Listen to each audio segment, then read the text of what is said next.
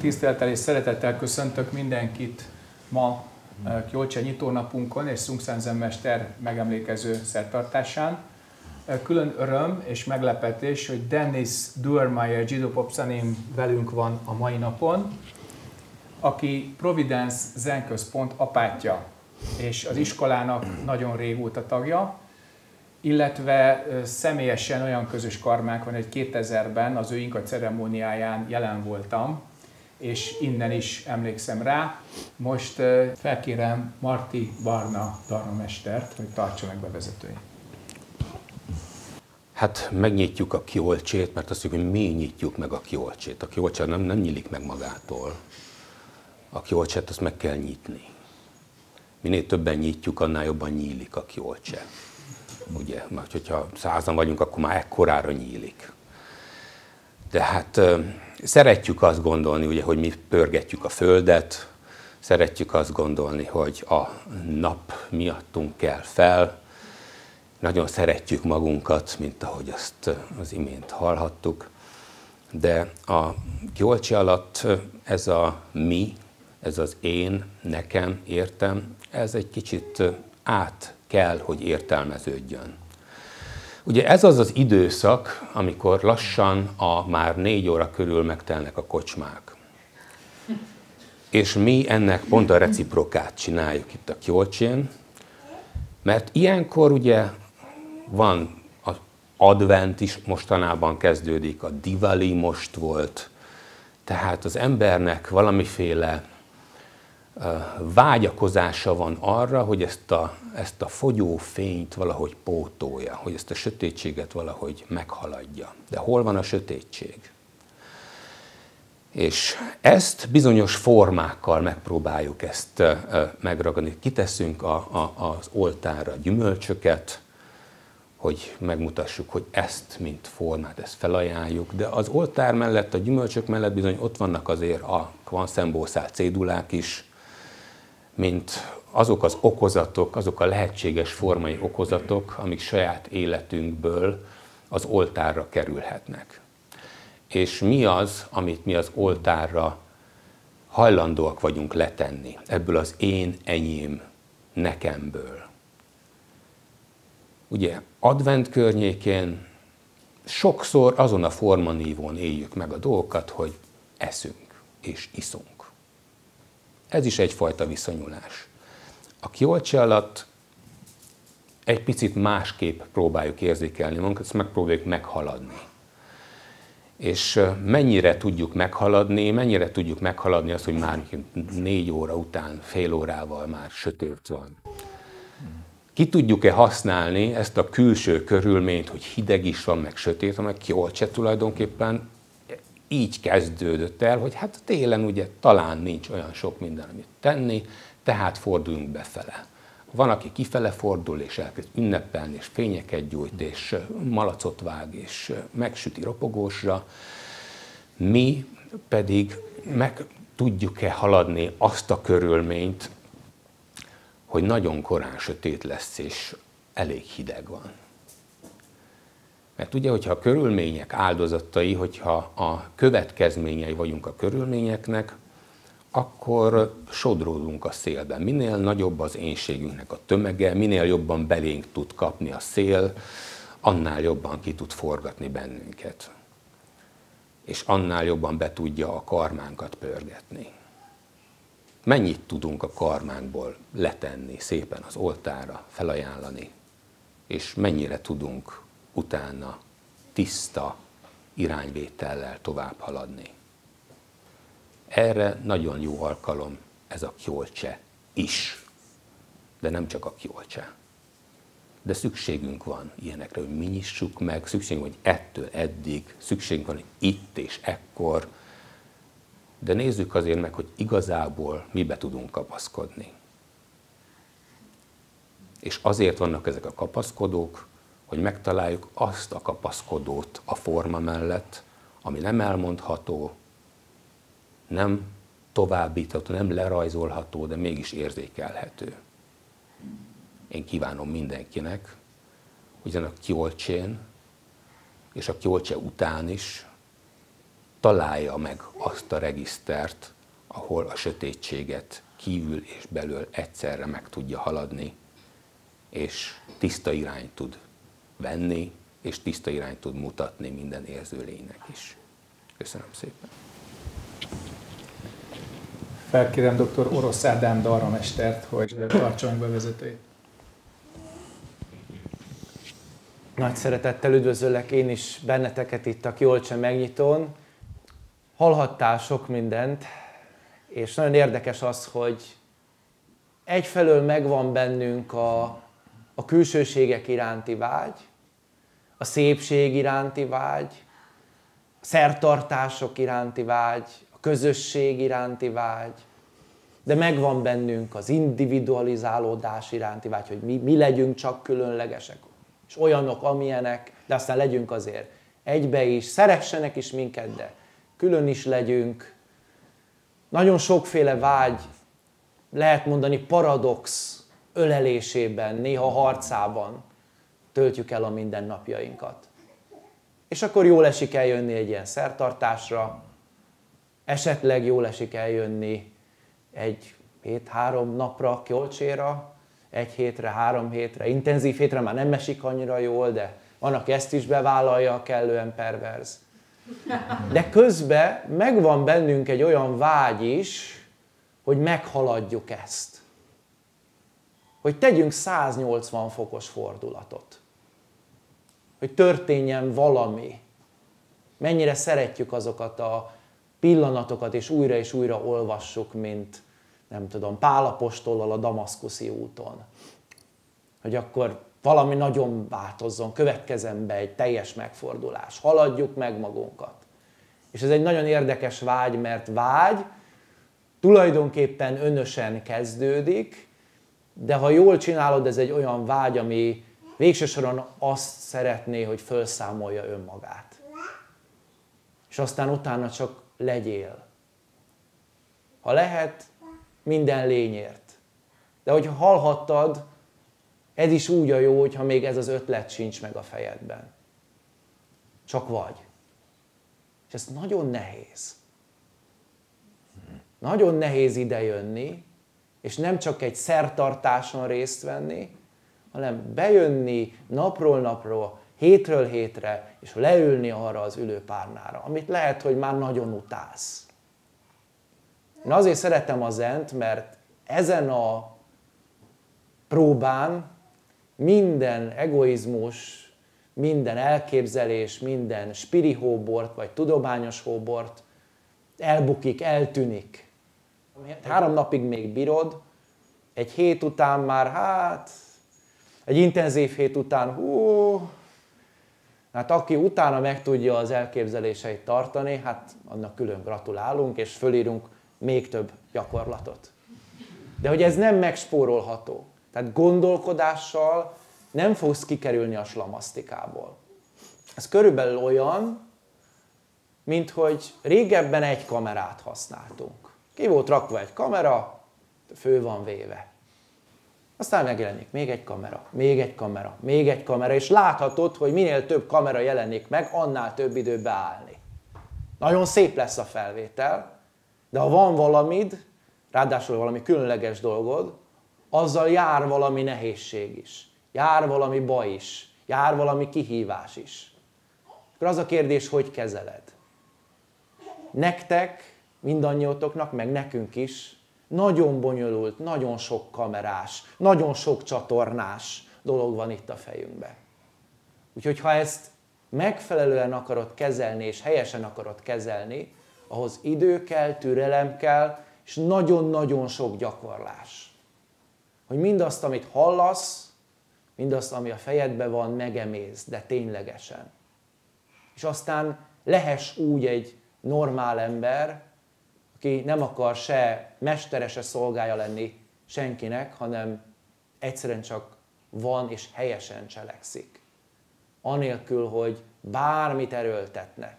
Ez nagyon nehéz de egy nagyon szép út. Úgyhogy én is mindenkinek azt kívánom, hogy ezt az erőt, ezt az elhatározást találjátok meg magatokban.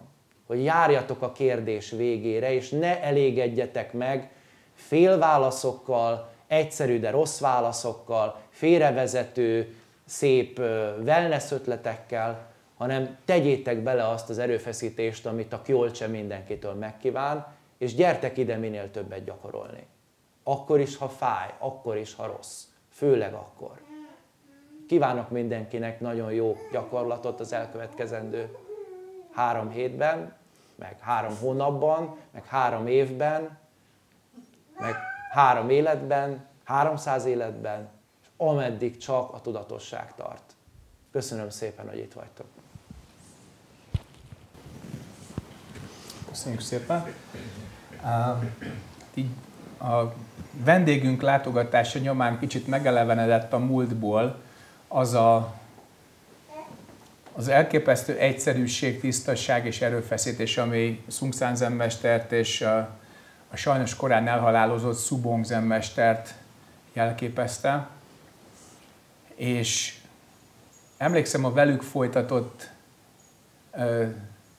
elvonulásokra és az általuk adott interjúkra, és pontosan ez az együttérzés árat belőlük, miközben te épp elsüllyedni készültél, mert nem tudod. Kultúránkban a nem tudás az valahol a sötétséggel rokon, és a butassággal, a semmire kellőséggel, az esélytelenséggel, mindenki felturbózza az agyát.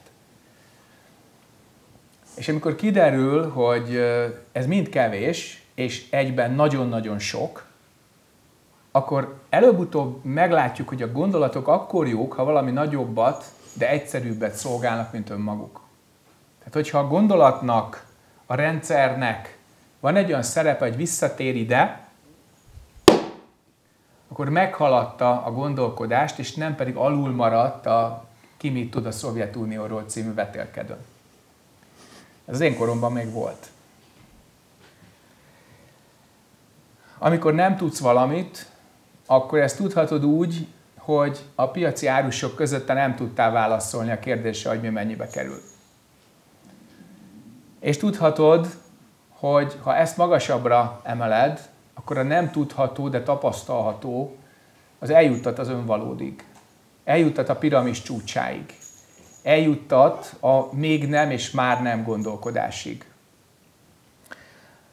Tehát a kis nem tudom, információhiány, váljon a gyakorlatunk által a nagy nem tudom má, amely a téves nézetektől való mentesség, a hamis önképektől való mentesség, a meddő illúzióktól való mentesség. Mert hogy hallhattad, ez egy kemény gyakorlat, de a kemény időkre komoly tanulságokat szolgál. Még akkor is, hogyha ezt békeidőben szeretjük érthető okokból elvégezni. Amikor tüzet oltasz, akkor nem kémiát tanulsz az iskolában, hogy a tűz az honnan jön, és a víz hogy oltja. Hanem teszed a dolgodat, hogy a lángtenger az ne harapódzon el. És most, ha jól körülnézel, ilyen világot élünk kint, hogy állandó tűzoltásra van szükség akár a házadban, az életedben, a kapcsolataidban, mert elkezdte rázni az ok és okozat folyamata a pillanatot. Elkezdte tesztelni a tiszta tudat meglétét.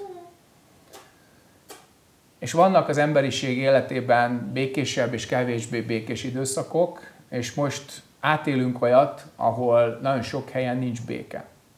Nincs nyugalom, nincs tisztaság. Ezért ezt magunkban kell előteremteni, a felszínre hozni és úgy továbbadni, hogy ezzel segíthessünk másoknak, mert kívülről ezt nem várhatod. Nem fogja a világ készen tálcán az életmód kérdését megoldani, a jövedelem kérdését megoldani, az emberi életút kérdését megoldani. Egymást segíthetjük ahhoz, hogy belül a válasz meglegyen, hogy megtaláld. Különben az élet vihara elmos, és értelmetlenné teszi mindazt, amit eddig tettél.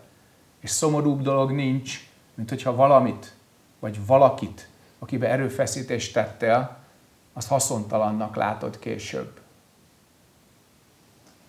Jolcse szó szerint azt jelenti hogy tight dharma, tehát szoros gyakorlás. Tehát mi a szoros? Nem a nadrág szárad, és nem a gallérod. Az együttlét, a közelség szoros. És ez az a fajta spirituálisan intim közelség, ahol egymás karmáját érintés nélkül is nagyon jól látjuk. Ez csoportkarma. És nagyon jól láthatod 90 napon keresztül, akárhány napot vagy itt, hogy valójában te ki vagy.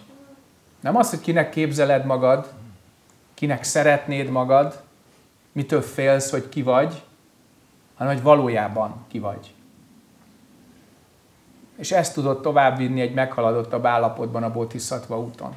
Ezért vagyok végtelen hálás a tanítóinknak, a tanító társaimnak és a tanítványaimnak, hogy együtt haladhatunk a felébredés útján, és segíthetünk mindenkit. Köszönöm. Kérdések következnek. A vendégünket angolul lehet megszólítani, illetve hogyha fordítás kérsz, jelez. És most arra kérek mindenkit, hogy a fókusz megtartása érdekében jelezze, hogy kinek szól a kérdés, és azt fog rá válaszolni. Köszönöm. Szociális területen dolgozom, hajléktalan emberekkel foglalkozunk, és az előbb említette a mester, hogy nincs annál szomorúbb, amikor energiát teszel valakikben, és az nem, hogy elcsökevényesedik, hanem semmivé válik. Azt szeretném kérdezni, hogy hogy végezzem a munkámat helyesen úgy, hogy ezt folyamatosan látom, hogy semmivé válik. Hogyha nekem, akkor megválaszolom. Számos hajléktalannal találkoztam, és nem csak az utcán, hanem ilyen egészen váratlan, de közterületi helyzetekben, és alkalmam volt beszélgetni is velük, és figyelni is őket. És egyöntettű a kép, hogy ahhoz, hogy ők hajléktalanok legyenek, rengeteg döntést kellett hozni. Ez nem egy döntés volt, hanem nagyon sok. És ebben a sok-sok döntésben kirajzolódik az az irány, amit ők tudattalanul követtek, vagy nagy részt nem látva követtek, és ezért hajléktalanok lettek, és a társadalmi hierarchia aljára, vagy a periféria közelébe kerültek. És ezt az irányt kell visszafordítani. És soha nem láttam még érvényesebbnek a négy nemes igazságot, mint az ő esetükben, és a legnehezebb mindig az első, a szenvedés tényét elismerni. Hogy igen, ez nem nekem való, ezt nem szeretem, ez kellemetlen, elismerem, hogy szenvedek. Mert a nagy részük ezt nem akarja, inkább iszik egy liter almabort. Inkább bemegy a melegedőre, elalszik, és nem tudja, hogy ki fogja szétlopni a dolgait. Tehát a folyamatos nem szembenézés, a folyamatos menekülés az, ami ezt valahol elkezdte, kibontotta, és utána egy egész élet meneküléssé vált, menekülés a rendőr elől, a maffia elől, a másik hajléktalan elől, egy olyasféle árnyékharc, ami mindig veszteséggel zárul. Tehát a legelső, hogy megláttasd a szenvedés tényét, és utána az okát. Az oka ugyanolyan nehéz, mert fel kell vele fedeztetni azt a döntés sort, azt az irányvételt, azt az önsorsrontó folyamatot, amely ide juttatta. És a legtöbbje még évek után sem akarja látni, csak adja neki pénzt buszi egyre. Oké? Okay? És volt olyan, aki elfogadta azt, hogy bevittem a Tesco-ba, és a Don Pepénél mutasson az étlapra, és nyugodtan válasszon. Volt, aki pedig az úti szendvicsemet így le. Érted? Tudjuk. Ezt is ismerjük. Tehát azért hatalmas tanulmány az ő életük, mert ugyanolyan emberek, mint mi, csak olyan döntéseket hoztak, amelyek az utcára juttatták őket. És utána jön a szenvedés megszüntetése, ezt ők nagyon nehezen fogadják el, mert ebben az állapotukban paradox módon rengeteg figyelmet kapnak. És utána a megszüntetés útjának a végigjárás az, hogy reintegrálódnak a társadalomba, de hatalmas árat kell ezért fizetniük, azt a hajléktalan önképet, amivé ők lettek az évek során. És erre láttam egy példát 23 év alatt, egy idős ember, összhajjal koldult a Szondi utca és a Dózsa György kereszteződésében, és adtam neki, szimpatikus volt, a hozzáállása is nagyon korrekt volt, és két évig eltűnt, és már aggódtam, hogy, hogy valami lett, és egyszer meglátom egy trollibuszon, utaztunk, és megkérdeztem, hogy mi történt. Azt mondja, hogy nagyon szerényen, hogy hát egy család befogadott. Tehát van kiút, csak végig kell járni. És ha ebben segítesz nekik, sosem hiába való. Mindegy, hogy hány lépést tesznek. De ha tudod, hogy helyes irányba tanítod őket, akkor semmi nem hiába való, lehet, hogy a következő életében fog kisarjadni a mag. Meg kell tenni. Oké? Okay? Szívesen. Következő kérdés. Ádámtól, Szunyimtól és Barnától várnák választ a kérdésre. Azt tapasztalom magamon, hogyha a templomon kívül vagyok, mondjuk egy hosszabb időt, hogy beindul bennem egy ilyen elég mély entrópia. És hogy van az ennek egy ilyen tanítása, hogy, hogy, hogy ne függ semmitől. És ez az, hogy én itt vagyok, és, és csinálom, és segítek, az, és enélkül meg egyszerűen beindul bennem ez a, ez a szétesés, ez, ez nem egy függőség, és ez, ez nem baj? Olvass egy kicsit az entrópiáról. A termodinamika nagyon tisztán tanít téged arról, hogy az entrópia az növekszik. Csak úgy szabadon hagyunk egy rendszert, akkor nő, nő, nő, nő, aztán egy ilyen telítési értékbe közelít, de sosem éri el. Az entrópia csak úgy csökkenthető, és most akkor beszéljünk erről úgy, ahogyan te is használtad, hogy a rendezetlenség, hogy munkát végzel a rendszeren. Tehát csak energia befektetéssel csökkenthető az entrópia. Tehát, hogyha a szobádat nem takarítod egy ideig, akkor egyre mocskosabb, és mocskosabb, és mocskosabb lesz. Úgyhogy takarítsd ki a szobádat. Lehet mondani, hogy ez függőség, de amikor ebbe a testbe vagy, meg így vagy, ahogy vagy, meg így vagyunk, akkor mindig mindentől függünk. A függetlenség, ez csak egy illúzió. Nem tudom, más állapotban hogy van, de most biztos, hogy rengeteg mindentől függünk. Csak az nem mindegy, hogy ezeket hogyan használod, és miért. Úgyhogy ha látsz egy utat, ami neked jó, és ami rendez belül, akkor járj azon, és tarts ki mellette. És van, amikor arra van szükség, hogy a külső rendezettség tartson meg, hogy a belső tér is rendeződjön. Ez lehet egy első fázis. És ez nem szégyen. Nem, nem lehet átugrani bizonyos lépéseket. Úgyhogy van, amikor a munka, valamikor egy rendezett környezet, egy rendezett gyakorlat, egy időbeosztás, egy pontos időbeosztás az, ami segít. Aztán lehet szépen befelé haladni, a belső teret is rendezni. Aztán lehet azt is, hogy ne legyen külső és belső tér, hanem tényleg vissza tudj térni ide.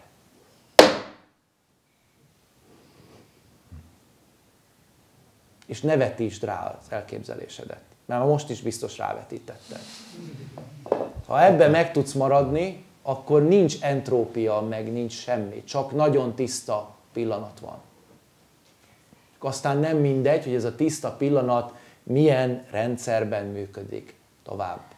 Ezért ezeket az első lépéseket, amiket mondtam, hogy föltakarítasz, azt nem lehet megspórolni. Csinálj csak tovább. Köszönöm. Honnan jön az entrópia? Nem tudom. Jelenleg a számból. Hányos számból? Na ez már az entrópia, vagy már nem az entrópia? Ez már más. Az nem baj, hogyha az embert az élet egy kicsit szórakoztatja. Biztos? De a szórakozás mögé elbújni mindig nem lehet. Ugye a szórakozás, amikor vidámak vagyunk, de maradjunk a szórakozásnál, eleve az az, hogy szórakozás, az, az, az szór. Szórakozolt, azaz szétszórod magad. És akkor keresed az egységet. És a kettő közötti e, egyensúlyt, hát ugye az entrópia, rendezetlenség vagy nem rendezetlenség. Hogy mi az, ami, ami ezt az egészet teremti, mi az, ami az egészet átlátja. Szóval, hogy függő vagy, mint bisi, mint test, mint persze, kell lélegezned, kell enned, innod, stb. Tehát egy csomó függésed van, egy csomó szinten függsz egy csomó mindentől, de vannak dolgok, amit megválaszthatsz. És azért gyakorolunk, hogy észrevegyük azt, amit még így testben is megválaszthatunk. hogy átlássuk, érzékeljük, és eldönthessük, hogy akkor részt akarunk venni, vagy nem akarunk részt venni benne.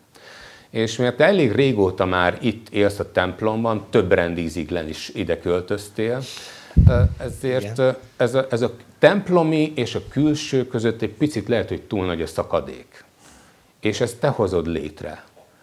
Egy idő után már túlságosan a, mm, a, a templomtól is függeni lehet, mert úgy gondolod, hogy ezt máshol nem tudod megkapni ezt a fajta formai, szellemi támogatást, mint itt. Holott a templomban pont azért dolgozunk, pont azért gyakorolunk, hogy az autonómiádat visszaszerezd, és akkor az, ami a kinti életben egy picit ilyen uh, salakosabbnak, zaccosabbnak tűnik, akkor is így tud elválasztani, hogy melyik mi az.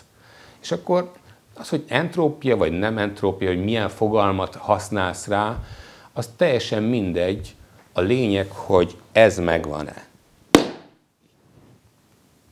Megvan a helyes szituáció, a helyes kapcsolat és a helyes működés, a helyes funkció. És hogyha ez megvan, hogyha a center megvan, akkor fújhat a szél, esett az eső, ha fúj a szél, akkor egy picit jobban felöltözöl, ha esik az eső, akkor egy esernyőt viszel magaddal, és ezzel már meg is haladtad azt a körülményt, ami egyébként áldozattá tenne téged. Csak ismert fel pillanatról pillanatra a helyzetet, a megfelelő kapcsolatot, és a kapcsolatban a megfelelő működést, gondolkodást, érzést, és ahhoz, hogy ez meglegyen, ezt, ehhez, fel, ehhez használt fel ezt a teret, ami a templom. De ezt a templomot belül szépen vitt ki a világba. Nagy szükség van rá. Nem csak neked, sok mindenkinek. Köszönöm. Misi, az okosságod és az entrópia azonos vagy különböző? Mikrofon fekete. Most próbálsz menekülni, de nem sikerül, elmondom. Az, hogy mekkora az entrópia, már az is mutatja, hogy három tanítót kérdeztél meg egyszer. és mit kezdesz a válaszsal?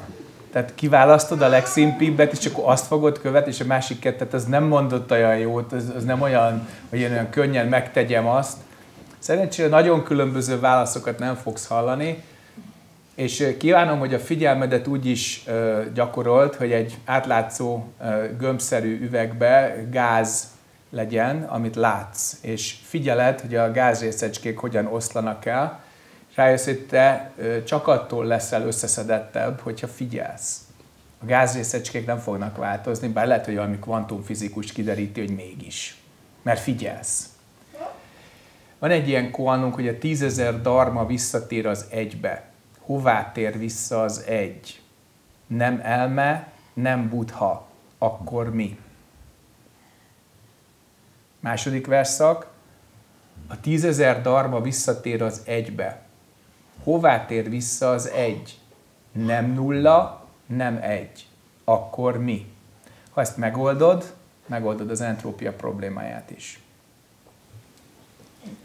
lábjegyzetként mindig függsz valamitől és valakitől, mert ez a függő keletkezés törvénye élet és halál körforgásában, kicsi és nagy bardóban egyaránt. De azt te választod meg, hogy kitől és mitől szeretnél függeni. És mások is ezt teszik veled. Úgyhogy figyelj jól, hogy a karma tüze kialudjék, és megszabadulj a szenvedéstől. Köszönöm szépen. Szívesen. Én erről a takarításról szeretnék kérdezni. A takarításról szeretnék kérdezni? Igen, hogy takarítsunk ki magunk uh, után.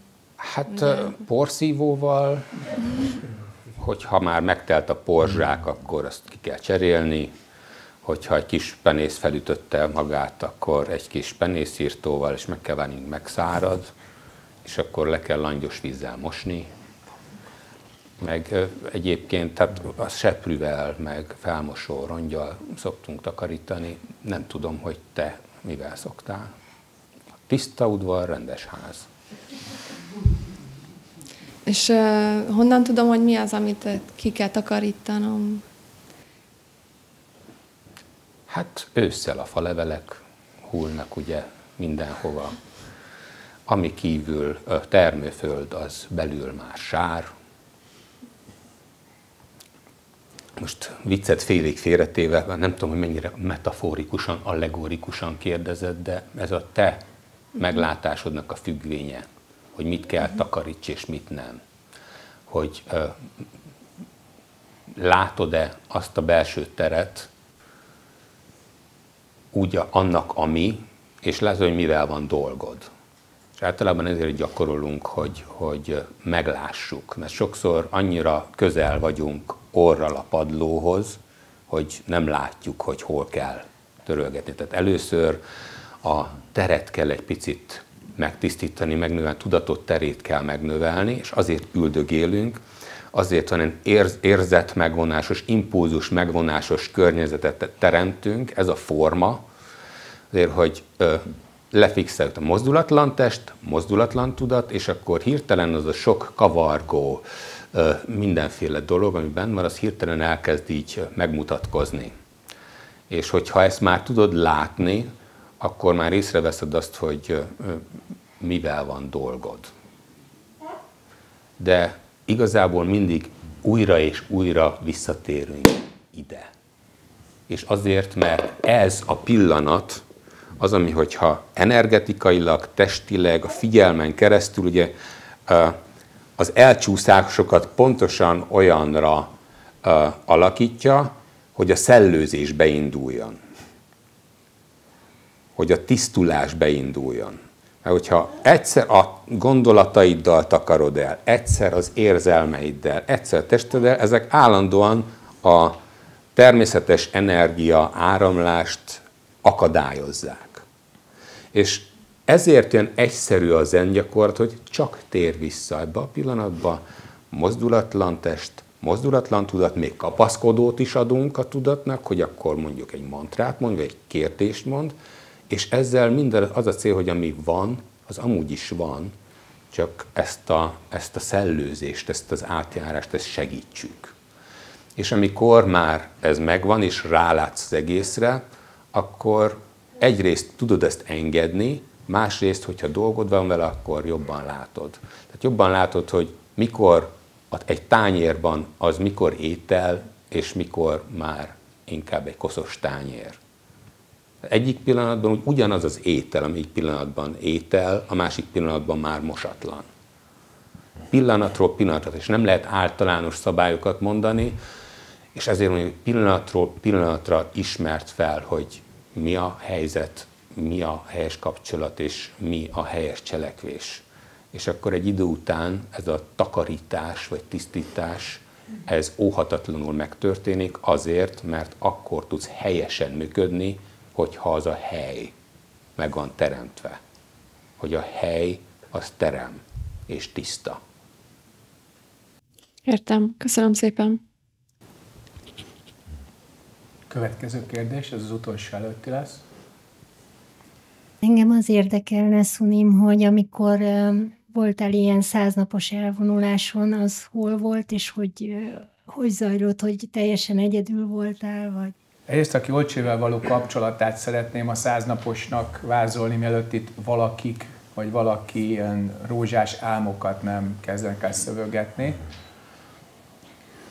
A közös 90 napos gyakorlat az fontosabb alapképítésben és kiinduláskép, mint a 100 napos.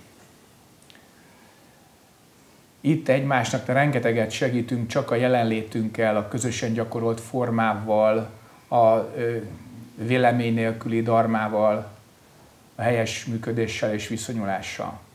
Ezt a helyzetet erre teremtettük.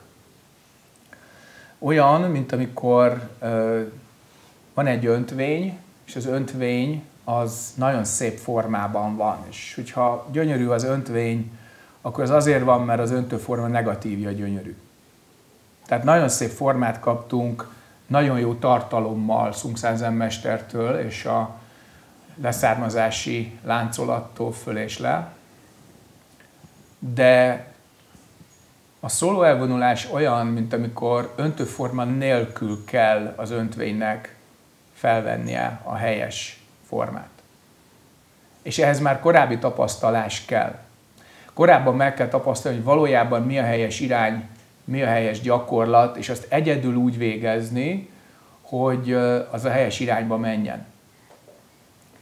És ebből nekem kettőt sikerült elvégezni, egyet 1998-ban, a másikat 12 évre rá 2010-ben, mind a kettőt Dél-Koreában, az egyiket Namhe szigetén, és ott volt egy másik szerzetes, két segítő bosszálném, de nem nagyon szóltak hozzám, és Szumszázen mesterem megbeszéltem az időbeosztást, és annyit úgy, hogy egyetlen tanítványának se engedett még közel se olyan aszketikus és ultra kemény gyakorlatot, mint amit ő maga elvégzett elsőként, mindenféle kiolcse nélkül, akik a kiolcsék utána jöttek. De látta, hogy ez mibe került neki el, majdnem meghalt. És a tanítványait soha nem akarta így veszélybe sodorni, és ő maga mondta, amikor megkérdezték, hogy ez miért volt szükséges, ez a nagyon-nagyon extrém gyakorlat, azt mondta, ha, ha korábban találkozom a tanítómmal, akkor lehet, hogy erre nem lett volna szükség. Ezt nézd meg, semmiféle énséget nem gyártotta arra, hogy ő ezt végrehajtotta. Pedig egy évig tartotta, még az ország egyik legjobb akupunktúrás gyógyásza összerakta újra a fizikumát. Az első fél év az elképesztő kockázat volt, hogy most akkor mi lesz vele. Akik nem tudják, délután beszélünk majd a videó alatt róla, hogy ő egy olyan száznapos csinált, ahol gyakorlatilag négy órát haludt, 20 órán keresztül énekelt a nagy dáranit, többszörös hideg fürdő, és csak porrátört fenyőtű leveleket evett, és a harmadik hét környékén leállt az anyagcsere, és akkor ilyen egész szójababokat nyelt le vízzel, de az ki is jött, tehát azt nem emésztette meg, az csak a béltraktus aktivitásának a fenntartására szolgált. Most ezt így senki nem csinálta meg az iskolában, mert nem is volt rá szükség. Tehát mi olyat csinálunk, hogy nagyon sok nagydárani, legalább ezer leborulás, éjszakai praxis, vagy nagyon kevés alvás, és hidd el, ez, ez is nagyon combos tud lenni. És amikor ezeket az ember így egyezteti a mesterrel, akkor azt is látja, hogy itt nem egyéni ambícióról van szó, hanem arról, hogy pont ez az elérés nélküli elérés valahogy történjen meg. Én három szabályt tartok nagyon fontosnak. Az egyik, hogy akkor kezd az elvonulást, és akkor fejezd be, amikor előre elgondoltad. A második, akármi történik fönt a hegyen, az a tiéd. Az nem másé. Nem mesélgetünk róla a sztorikat a kocsmában nem bizonygatjuk, hogy milyen jó gyakorlók vagyunk, vagy hogy mekkorát ugye éntelenettünk a buddha színe előtt, tehát ezt nem. És hogyha eközben, mint fönn vagy a hegyen, ha hibázol, azon nyomban fölállsz és csinálod tovább. És ezért van egy olyan mondás, hogy seven times fall down, eight times get up. Tehát egy hétszer buksz, nyolcszor állj fel. És mindegy, hogy mit hibáztál, mindegy, hogy hányszor, az a te dolgod, és se az erényedet, se a nyomorodat ne vidd más színe elé az elvonulás után. Fönt marad a hegyen minden, amit te ott tapasztaltál, és ne hozz vissza a völgybe, hogy senki nem fogja érteni. A tanítód meg úgy is látja, neki nem kell mondanod. Az látja rajtad, hogy leborulsz előtte, ahogy a száznapos után visszajöttél. És a harmadik, hogy nehogy azt hidd, hogy te egy más személyé váltál. Az a változás az úgy van, hogy te nem hiszed hanem azzá váltál. Nem egy újabb önképet gyártottál le magadról, hogy te világosabb vagy setétebb, összeszedettebb vagy szétszórtabb tudatú lettél. Tehát csináld, és ne gondolkodj arról, hogy te kivé válsz ezáltal, mert ez, ami az egészet ilyen hatalmas harakiriként ledöfi. És ezt mind a kettőnél sikerült, a másodikat törött térdát csináltam végig, és ez volt egy olyan akarat edzés, ami már nem arról szólt, hogy te hányat borulsz az első hét után nem borultam le egyet sem. Hanem énekeltem az ezer szemet, a nagydáranit, a surangamát, és járókerettel jöttem le a hegyről. És ez ilyen elképesztő kudarcnak is tűnhet. Nekem nem volt az, mert ma, a mai napig abból az akaraterőből élek. Úgyhogy ez a három. És már az egyiket meg is szektem, mert elmondtam, hogy mi történt. Ja. Tehát csak csináld és kész. És ehhez kell egy, egy jó tanító, aki nem hagyja, hogy félre megy. Tehát a száznaposnál ez olyan, mint amikor minden segítség és minden gát, az lehullik. Ezt mondtam az előbb öntvény és öntőforma hasonlattal. Mert ami az egyik oldalról segítség, a másik oldalról gát. Valaki megmondja neked, hogy mi a helyes út, már az, az, az önállóságodat vissza is vette, de szükséges, mert nem mennél a helyes irányba. Úgyhogy ez a dupla vagy semmi. Hosszabb szóló elvonulásokat láttam Koreában. Van egy hely, Deja Am, ez Kapsa, Kierjongsan ugye fölött, voltam is a helyen, de mint látogató. Minimum 6 hónap, és maximum 2 év. Na az ott tényleg szóló, napi kétszer ilyen tálca kaját beadnak, és, kett, és azt csinálsz bent, amit akarsz, van egy teljesen saját kis templom lakrészed, ki tudsz menni a belső kertbe, van szobád, van fürdőszobád, mindened van, de saját magadra mosol, saját magadnak takarítasz, egyedül a főzés az, amit kívülről megoldanak, és hogyha három napig nem veszed el az ételt, és nem írtad meg, hogy te böltesz, akkor kibontják az ajtót, és kihoznak. Mielőtt azt hiszed, hogy ez egy nagyon ultra szuper wellness center, azért gondold át. Tehát ide ajánlás nélkül nem lehet bemenni. Egy egyéves tartózkodást épp befejező koreai szerzetes láttunk, aki két-három nappal azelőtt jött ki, de a szemét, tehát azt nem lehetett felismerni, mert őrült volt, tehát nem volt tiszta. A macskát, amit így megfogott, így énekelve a farkánál fogva egy lóbálta, és amikor a macska már nagyon sokat nyávogott, akkor egy kiáltással elhajította. Érted? Mert ez a tökéletes szabadság, ugye?